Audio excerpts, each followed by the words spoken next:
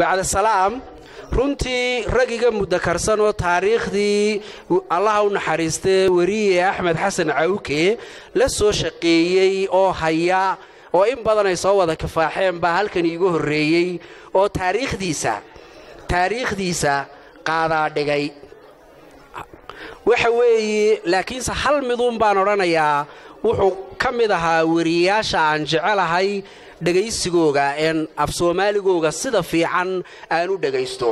Hal mid baan markaa ka soo qaadanayaa. In badan baa runtii laga hadlay laakiinse waxaan rabaa inaan ka soo qaato waxa la yidhaahdo etics of journalism oo rag badan oo dhallinyara oo rag iyo dumarba leh oo journalismka da'da yar leh ee gobolkeenni ay halkan fadhiyaan axmed waxyaabaha aan kaga yaabay allah u naxariistay markaan dhegaystay yutuubyadiisa aad dib ugu noqoto hal su'aal baa la weydiiyey.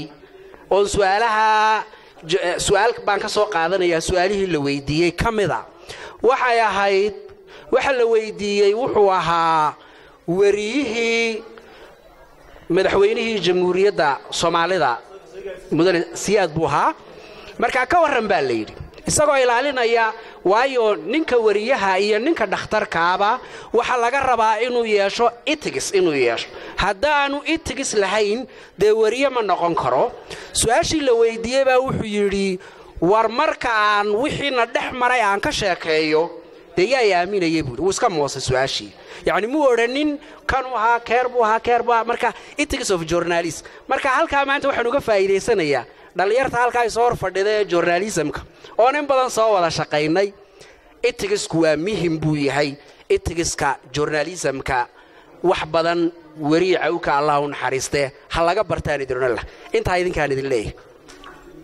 Talabaad waxa weeyaan runtii wuxuu lahaa dee waa laga sheekeeyey laakiinse haybadda sida uu kuu gelinayo warka. Marka uu gurayo ee uu qofka waraysanayo sida uu warka uga gurayo ee uu kuugu soo tabinaya horta si weyn ahayd. Runtii haybado badan buu lahaa allaha u naxariistaan leenahay. Waxaana weeyaan suldaanku wuxuu yidhi waxa loo baahan yahay in qofku marka uu nool yahay wax laga qoro. Waxaad mooddaa dhaqanka inaynu dadka wax ka qornaay inuu inagu yaryah dadka soomaalida inta badan waxa la yidhaahdaa waa dad oral societya oo inta badan hadalkaynu wax iskugu gudbinnaa qoraalka iskuguma gudbinno.